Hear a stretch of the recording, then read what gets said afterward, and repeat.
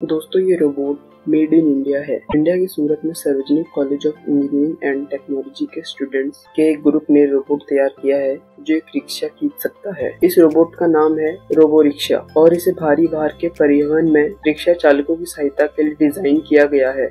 Robot को smartphone app पर प्रयोग करके कंट्रोल किया जा सकता है और इसकी मैक्सिमम कैपेसिटी 200 किलोग्राम है। ऑब्स्टिकल्स का पता लगाने और एक्सीडेंट से बचने के लिए सेंसर का उपयोग करता है। और यह जीपीएस का उपयोग भी करता है नेविगेट करने के लिए। प्रोजेक्ट के पीछे छात्राओं ने कहा कि वे रिक्शा चालकों की दूरदर्शा से प्रेरित थे, जिन्हें कठिन परिस्थितियों में लंबे समय तक काम करना पड़ता था। वे एक ऐसा समाधान चाहते थे, जो भारी रिक्शा खींचने के लिए शारीरिक तनाव को कम करने में मदद करे।